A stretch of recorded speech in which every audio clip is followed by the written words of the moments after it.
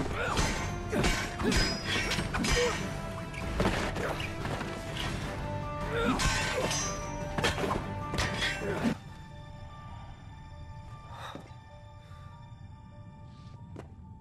Ahoy, my friends, Ryder here, and welcome back to another Final Fantasy VII Ever Crisis video.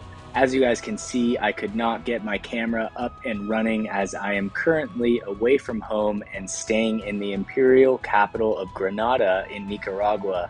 The Wi-Fi is brutal, so I am being forced to make this recording on my phone today. However, I'm going to be showing you guys a absolutely great way to clear the very hard Corel Prison Crisis dungeon and uh, hopefully that's going to be able to get you guys through this one. They are definitely ramping up in difficulty uh, going from the Grostia path to the Corel prison. Now, if I go over here to my team, I am going to be running Cloud, Aerith, and Barret into this fight. Um, with a power of 262,000. Cloud I will be running as a Ice Lightning hybrid build, Aerith as a healer slash buffer, and Barret as a debuffer slash buffer. Now, before we go into the team build, I am going to go here to the map where I'm going to show you guys my basic pathing through the dungeon. So I'm going to be starting down here. The first thing we'll do is take out the Assault Scorpion. We'll start with taking out the first two ads and then taking out the Assault Scorpion himself. He can break our magic defense, so we will be bringing the Mithril Rod to help us against that in this fight. And that Mithril Rod is also going to be very handy against the Mole Crawler later on. All right, after we take out the Scorpion Sentinel, we are going to run up here, get this treasure chest after taking this one back here and we are going to fight our first set of ads. After we beat those ads, we will run down here past the second boss all the way into this corner to get the blizzard cocktails right here. Then we will double back and take on the Mole Crawler. We'll start this fight by engaging both of our summons, taking out the ads, and doing a sizable chunk of damage to the Mole Crawler. After we take him out, we are going to double back here and we're going to take on the two worms, the Bloody Worm and the Land Worm, one of which is weak to lightning, the other which of which is weak to ice. We are going to, and this is important, take out the worm on the right side first, the worm that's weak to ice. Um, and the goal is to kill it, this worm when it goes into its sigil break form because if you kill it in the sigil break form it causes an interruption which gives you a, a, pretty good lapse of time to do a sizable amount of damage to the second worm once we take out the worms we are going to come down here and fight the Queen Grashtrike and her two minions right here. She can be a little bit of a pain, especially if you don't have a Healing Esuna Poison equipped. Um, so we are going to want a Healing Esuna Poison for this fight and a Physical Defense Break. Uh, but we are going to be bringing that anyway, and I will go over that in the team build. After we take her down, we're going to come back down here, go down this little ramp, and take on Dyne himself. And yeah, so that being said, let's go over to the actual enemy info. I'm going to go over to the things that are of the most importance um, in these symbol enemy lists. The first is in the Scorpion Sentinel fight, it's important to always take out the Scorching Claws first um, when they are ads because they can reduce your physical defense and increase the amount of damage that you are taking. When it comes to the Scorpion Sentinel himself, he's going to deal a lot of really strong magic attacks. So, and on top of that, he is going to reduce our magic defense. So his first tail laser has a high chance of taking one of your characters out unless you uh, heal from that debuff. So we are going to do that by equipping Mithril Rod. Another thing that's extremely important for this fight, um, especially against the Scorpion Sentinel, is we are going to equip only physical uh, sigil breaking materia because he will counter magic sigil uh, breaks. So any Ruinras, etc., he will counter. Um, other than that, the Mole Crawler, he is also going to deal magic attacks and inflict a magic defense down with the Tear Gas Bomb, which we will counter with the Mithril Rod. Um, but other than that, he's not too bad, other than the fact that he's super tanky. The Queen Grashtrike is not so bad, except for the fact that she can poison you, so we do need at least one Healing Esuna Poison on our team. Uh, in terms of the worms, they can AoE Darkness you, so we are bringing two Healing Esuna Darknesses. Um, we are going to bring one D Brave, and we are going to bring the assault gun on Barret in order to better tank these two monstrously uh, heavy hitting worms right here. But other than that, they're not too terrible, although it is pretty hard to get a solid score on this one. I'm normally getting around 40,000, but it's still enough to get the S+. plus. All right, other than that, we just have Dyne. Dyne has no weaknesses, no resistances. He does do a final attack, Molotov cocktail. However, if he had already done it two times in the fight, correct me if I'm wrong, if he's already done it twice, even if you kill him, he won't use the Molotov cocktail. So unless you're like really high DPS team and killing him super fast, then you probably have to worry about it. But I haven't had to worry about it just because he's doing his first two Molotov cocktails before I'm killing him. Dyne is going to have a lot of powerful physical physical attacks, which means that Barret's uh, assault gun is really going to come in handy. On top of that, we are going to be bringing the uh, Barret's weapon that reduces physical defense. Um, which is going to work great because whatever uh, attack type you're using against Dyne, he's going to buff against it. So he'll use Barrier if you're physical attack dominant, and he'll use Manaward if you are magic attack dominant. He can also inflict AoE darkness with Suit Gun, all right? And so that is going to be the overall strategy going into the fight. So those are the bosses. Now let's get into the teams here. Cloud, like I said, is a Lightning Ice hybrid. He is running his Ice Arcanum costume in the first slot, paired with Shiva's Diamond Dust, which is a fantastic combination for Cloud in this fight. The Murasame is in the first slot here because it's very important that you run at least one Triangle Sigil boost weapon. Um, there are two fights in which it can be very hard to break the sigils without a sigil boost weapon, and that's going to be against the land, the two worms, and against Dyne. So I highly recommend slotting a weapon that does this. In this setup, Murasame is going to go in the first slot, followed by the Stream Saber in the second slot here. Therefore, Cloud can cover our lightning and ice damage. All right. Aerith is going to be using the Garnet's gown for healing. However, the Chocobo uh, suit and the Rosy Battle Garb will both work fine. She is running Healing Wind as the limit break, and we are running Fairy Tale since she's our primary healer, and then the very handy Mithril Rod here for the magic defense up increase. Other than that, we have Barret running the Fiery Cape, boosts HP and physical defense. He is running Ramuh's Judgment Bolt here, which is very handy in this fight. In the first slot, he has the W machine equipped, which breaks physical defense to high if you're at OB6 and to mid to high if you're less. However, if you don't have it OB6, this is still clearable. I just got this to OB6 and I had already cleared this dungeon before without it being at OB6. It just makes it a little bit easier. In his sub slot, he's going to have the assault gun here, probably one of the most clutch weapons to have in this fight. It's very, very, very useful and I highly recommend using either Barret or Matt. The nice thing about Barret is that the animation speed in which he casts agitation is so fast that it really makes this weapon uh, S tier, in my opinion. Now, going into the materials, we have a Healing Esuna Darkness on Cloud, a second Healing Esuna Darkness on Aerith, and then a very important Healing Esuna Poison on Barret. In the second slot on Cloud, we have a D-Brave, then we have a very important lightning breach materia on Aerith. This is our only imperil we are bringing into this, and I recommend bringing the lightning one over the ice one. Um, in Barret's second slot, we have a Thundara blow, so he can help us against the mole crawler and the lightning weak uh, worm.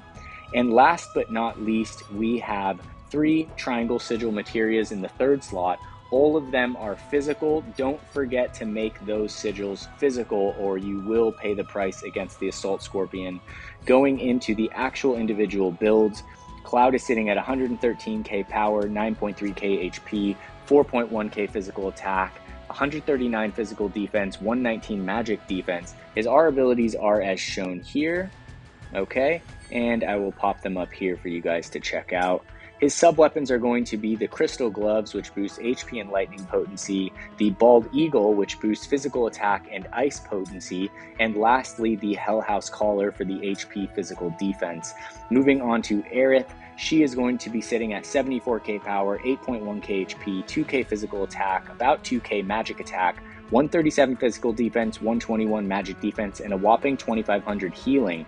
These are her R abilities, as you guys can see, with healing being the most important, then physical defense and HP to follow. Other than that, her sub equipments are going to be the free event weapon, the Feather Scatter, followed by the Guard Stick, the best uh, healing sub weapon equip in the entire game. And then lastly, followed by another free event weapon, the Giant Fork, which boosts HP and physical defense. Uh, preparing your physical defense is very important in this dungeon. It's going to help you uh, greatly overall. Lastly, we have Barrett here sitting at 74k power, 9.3k HP, 2.9k physical attack, 135 physical defense, 109 magic defense.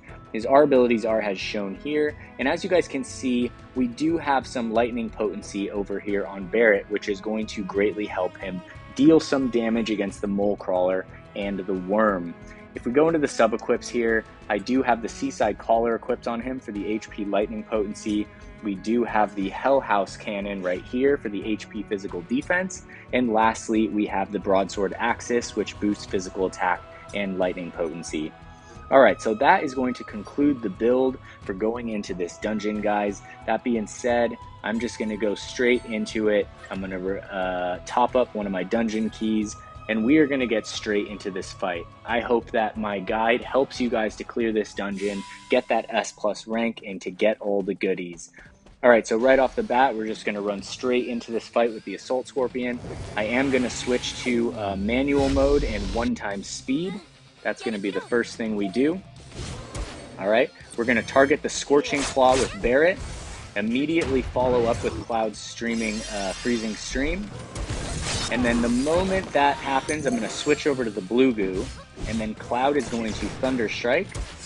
All right. Then from here, Barret is going to debuff the Scorpion. We're going to Saving Grace on Aerith right here. All right. Cloud is going to get off one attack, Barret one uh, break, and then we are going to guard against it right here. All right, here we go. Here comes the tail laser. All right, we did barely survive because the uh, saving grace fell off there, so you might want to wait to cast it a little bit when you guys do your dungeon run. All right, but from here, I'm going to wait and do a lightning breach with Aerith, and then we're just going to get straight into damage. Thundara blows with Barret, and Thunder strikes with Cloud. In the meantime, Aerith is going to slowly take herself back up in HP, Alright, while we do as much damage as possible to the Scorpion Sentinel. The goal is to kill him in his counter mode right here, um, which should be more or less pretty simple. I'm just going to use Thunder Strikes with Cloud, uh, but this is one of the easiest sigils to break in this entire dungeon. So it should get broken right about here in about two seconds. One, and there it is, followed by one hit from Cloud, and that is going to take down the first of the five bosses of the Corel prison. Alright, now let's move on and take our first trance ability. This guy is not so bad, um, especially with the Mithril Rod, it really makes the fight a lot easier. Alright, so I am going to take the Ice Potency over here and the Lightning Potency, the one on the right here. I don't like the negative effects in dungeons, especially if you don't need to take them. The next thing we're going to do is we're going to grab this chest. All right. And then hopefully if we're lucky, I can show you guys a little trick if we don't trigger the ads before I get this chest. All right, perfect. All right, so we are going to get the Thunder Cocktails, and I'm actually going to pop one of these Thunder Cocktails right now.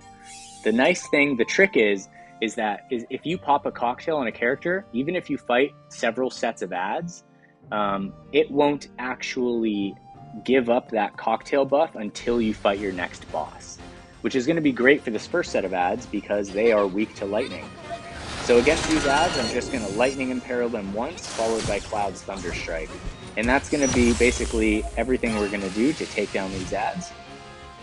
All right, another lightning imperil followed by Cloud. And we're just going to rinse and repeat that one last time right here. All right, so here is the lightning breach. Gonna wait just a little bit to get my ATB up. And that is gonna take down the last Moth Slasher. All right, so that's the first set of ads. The second set of ads upcoming are going to be weak to ice instead of lightning. Okay, here we go. We're gonna run past the mole crawler right here. we're going to run over into this corner where we are going to initiate our second set of ads. This is going to take care of all the ads in the dungeon. At the beginning of the fight, switch over to the Scorching Claw and take him out right away. That's the first thing you want to do here. All right, here we go. Next thing we're going to do is take out the Queen Grashtrike in the middle. All right, so Barret is going to debuff every single time before Cloud hits. And then the goal is to take out this last one right here before it gets off the leaping strike. All right, so hopefully we are going to have a chance to do that. Um, not sure if it's going to get off or not. It can be a little bit tricky right here. Uh, we didn't get the chance to switch to the defense stance. But it's going to be fine. We are going to take it out right here, and we're going to be all good. All right, so that's going to take out the second set of ads right there. They can poison you, but it normally doesn't come till late in the fight. All right, perfect. There we go. That's going to take us through that. We don't have to worry about any more ads for the rest of the dungeon, which is going to be uh, definitely a little bit of a relief. After grabbing these Blizzard cocktails and the summon charges, we are going to run back here to the Mole Crawler. Um, I'm not exactly sure why sometimes this is purple instead of gold. Um, it looks like this is a harder version of it. I'm not exactly positive what triggers it. If you guys know, I would love to know. So please let me know in the comments below. If we go into this point right here, I'm just going to put one special supplement on Aerith, and I'm not going to heal anyone. Cloud already has the Thunder Cocktail, but I'm going to pop one more on Barret right here. As you guys can see, this is proof that it does last through ads, as Cloud still has the Thunder buff right here. After that, we are going to go straight into the fight against the Mole Crawler. The first thing we're going to do is we're going to drop a Lightning Breach on it, and then drop all of the summons at the same time plus Aerith's Healing Wind, which is going to take us back to almost full. Alright, so here comes the Lightning Breach, followed by the Summons and the Heal. Alright guys, after this, this is going to get us a nice little chunk into the boss's health, plus we're going to take down the ads at the same time, so it is the best gateway into, in, into the intro of this fight. Alright, at this point, Aerith is just going to keep up the Lightning Breach the entire time, Barret is going to be doing Thundara blows, and Cloud is just going to be dropping Thunder Strikes the entire time. Yeah, that's essentially this fight in a nutshell. We'll wait until he does the Tear Gas Bomb, and then I will show you guys how we are countering that magic defense down with the Mithril Rod. Alright, here we go. Re-putting on that Lightning Breach. And it's looking pretty good. Cloud is almost got him down to half health. All right, here comes the showdown. Barret's gonna drop another couple Thundara blows right here. And we are preparing for using Saving Grace on Aerith right here. Boom, there's the magic defense down. We're gonna counter it with Aerith and just keep on doing damage right here. All right, so now he's gonna begin charging Blazing Ray. Aerith is gonna use one Lightning Breach right here and she's still going to have enough um, ATB to cast Saving Grace right before it gets off its big hit right here. All right, we'll switch over to the defense stance, tank the Blazing Ray, and the goal is to kill the Mole Crawler before it gets off its second Blazing Ray. All right, so at this point, I'm going to Lightning Breach it one more time. It's going to get stunned from using its big attack, and we are just going to take it down as quickly as possible right here. All right, Cloud's going to get off another hit. Aerith is going to heal everyone. Just bring them back up to full. Barret is going to get off a Thundara blow, and Cloud should finish off the Mole Crawler right here and now. Oh, it is pretty close right there, but not quite. Alright, there we go. All right, so that's going to take down the mole crawler. He can be a bit of a pain. Honestly, he's just tanky, and the fact that it takes so long to kill him uh, kind of lowers your score on the time. But we are going to get a score of 59,000, which is pretty good. I say shoot for killing him before that second blazing ray. You should, you guys should be totally fine. All right, so here we are. Let's choose our trance abilities. I'm going to choose the one on the right over here, the enhanced total defense, physical defense, magic defense. I think that one is definitely the best of the three. After that, we're going to head over and we're going to take on the first of the harder fights. This is going to be the worms. We're going to stop right in front of it and just reassess. I'll special supplement Cloud. And just so you know, Barret will not be able to physical defense break these opponents. Aerith will be able to lightning breach one of them, and it does look like both of our summons are back in charge. So I will Blizzard Cocktail Cloud, then Thunder Cocktail Cloud, and Thunder Cocktail Barret. All right, that being said, at the beginning of this fight, I'm going to target the left worm, Lightning Imperil it, and then drop the summons. All right, here we go. Right when they're about to cast, I'm going to drop the summons. Boom. That's going to give us a little bit of cast time right there.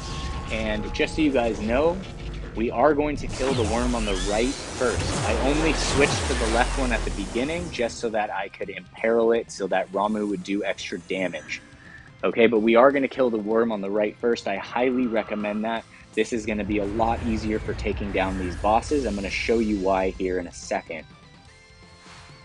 All right, here we go. They're going to Sandstorm. That's an AoE Darkness.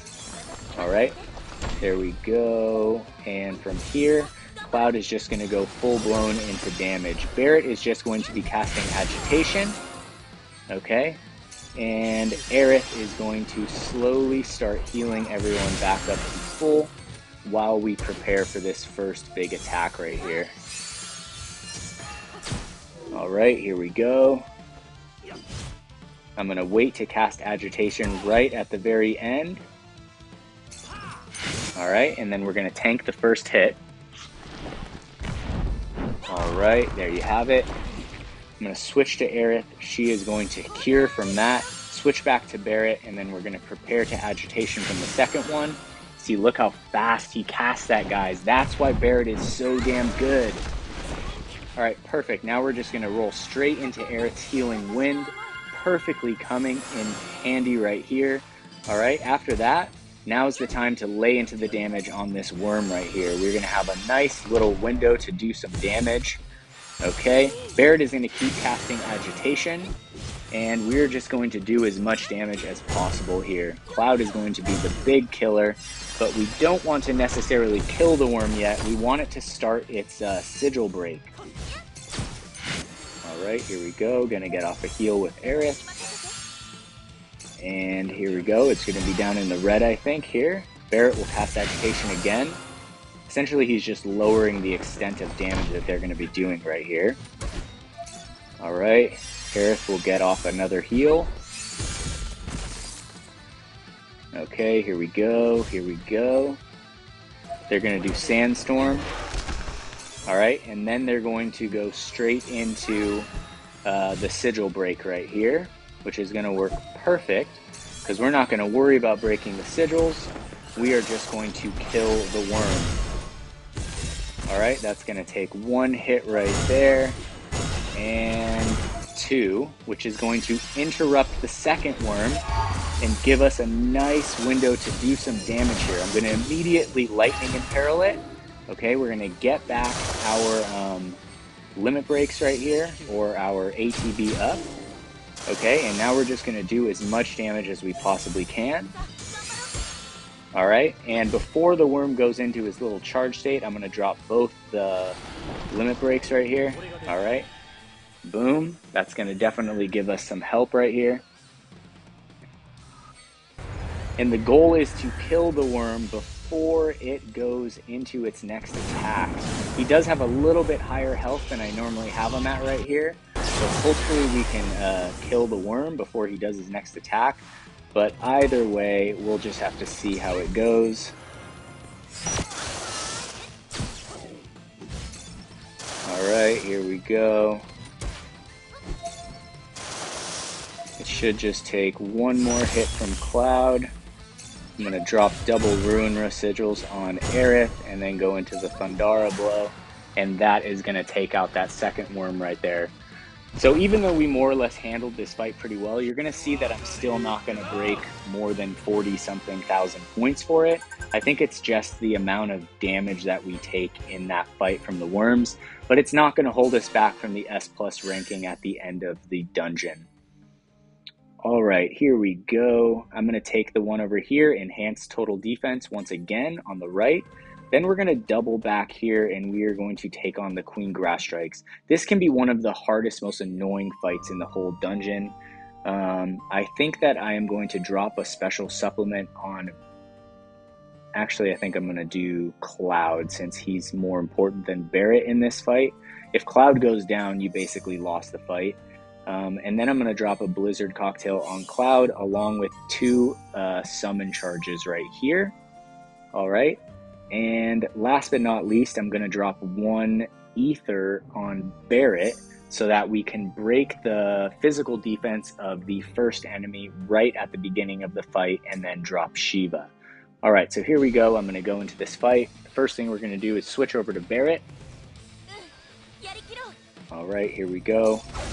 And boom. Just going straight into Shiva right after that physical defense down. That's going to take out both the ads and then the next thing we're going to do is try and get as many hits off with Cloud as we can in this time because it's going to quickly recover its physical defense break. Okay, Barret is going to agitation during this point in time. Okay, hold on. And Cloud is going to break this sigil as quickly as possible. Right here. So we're almost good. All right, and now we're just going to do as much damage as we can, as fast as we can do it. All right, it should just take a couple more hits from Cloud to finish off this enemy. And that is going to do it. I'm going to let you guys know that boss or that enemy right there does not always go into that sigil break form right there. Sometimes it removes the physical defense down, makes itself impervious to physical defense down, and then poisons you. If it does that instead of going into the sigil break phase right there, it can be a lot more gnarly. So make sure that you are casting agitation, healing the poison, and keeping your characters alive. All right, for this one, we are also going to take the enhanced total defense over here on the right side, physical magic defense. Now, if we look at our trance abilities, we have physical defense plus 100%, magic defense plus 100%. So we are pretty much set to go on taking down Dyne. Um, I'm not going to worry about my characters. We do have two elixirs. All right, so I'm going to run over here we're going to go down this little ladder and we are going to be more or less ready to take down Dyne here in a second. I'm going to go over to my little bag of goodies. I'm going to elixir Barret, then I'm going to elixir Cloud. All right, then I'm going to special supplement Aerith. I'm going to use one Blizzard cocktail on Cloud, and we are good to go. This fight is going to start the exact same way we did the other one. Barret will uh, physical defense break Dyne, and then we're going to open with both summons here. All right, here we go. There we have it. Boom, straight into the summons. And I think I'll leave Healing Wind just in case we need it later on. All right, so we'll start here with Ramuh. All right, it's important to make sure that Dyne is always broken on his physical defense in this fight, especially when he casts the barrier on himself later on. All right, after that, we're just going to roll straight into uh, attacking right now. He's going to start casting Molotov Cocktail here in a second. All right, I'm just going to switch over to Barret, cast Agitation right before it goes off, and switch to the defense stance.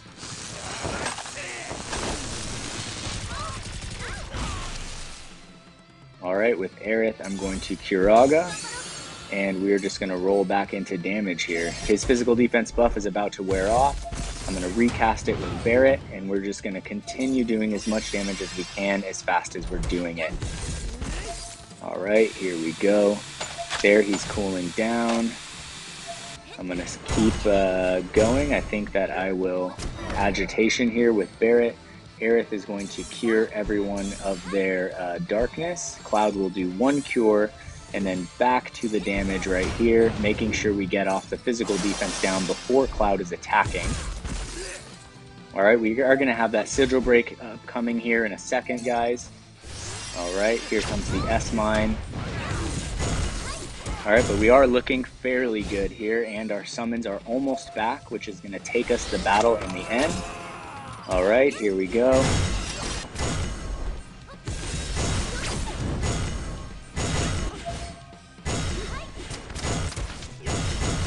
All right. I'm gonna stay on cloud and hopefully we can get all these sigils broken on him in the meantime. I'm to quickly drop a Healing Wind on Aerith just because Dyne can do a lot of damage really fast to your characters during this. You can counter that by using Agitation on Barret during this Sigil Break phase, um, which is going to make it a lot easier to survive during that time. Alright, but as long as you break him right here, just go straight into your damage. And that's going to basically wrap up the fight, guys. I'm going to end it with the two summons right here. Um, and it's going to be more or less over at this point. All right. So there you have it. Dyne is going to fall to one knee, and we are going to take down the dungeon. Um, I appreciate you guys being patient with me. I know that the video is not as fun without the camera on. You can see my expressions, but to be honest, guys, I recorded it down here seven times this dungeon. I beat it seven times in a row, S plus, and every single time my recording was lagged, something went wrong. I tried to do everything I could. I even recorded it outside where I was closer to the Wi Fi modem, even though there was like 50 gnats flying around me the whole time and it was brutal. Today was a hard day. This dungeon, this final video took me probably like five hours, even though I could have done it in like 30 minutes earlier. So I hope you guys appreciate it, and I really hope that it does help you guys clear this dungeon. And I do appreciate your grace in um, letting me make this one video that doesn't have the camera and is maybe of slightly uh, lower quality than what you're used to. But I'll be back home um, within a few days and back to my normal setup. All right, guys, so there you guys have it 777,000 points. There is the S plus clear as promised. If you guys have any questions about this fight, if you guys have a different build, if something's just, uh, you know, maybe, you know, not working based on how I've talked about it, don't hesitate and don't be shy. Drop a comment. I'm happy to help you guys out. I always have been. And, you know, I'm here to help you guys clear this content. So just ask me the question and I'll help you the best I can. If it's a complicated question, sometimes it's better to just come join our Discord. It's called the Curseborn Discord, and you can find a link in the description of all the videos that I make. Um, so we'd be happy to have you there. We got a ton of awesome players, free to play minnows, dolphins, whales, and a bunch of new players from Southeast Asia. That being said, if this video was enjoyable for you guys today, if it's helping you get the clear of this new crisis dungeon, don't forget to drop a like. And if you guys are interested in seeing more of my videos to come out for Final Fantasy VII Ever Crisis, don't forget to subscribe to the channel. That being said, I hope you all have a wonderful night, take care, and peace.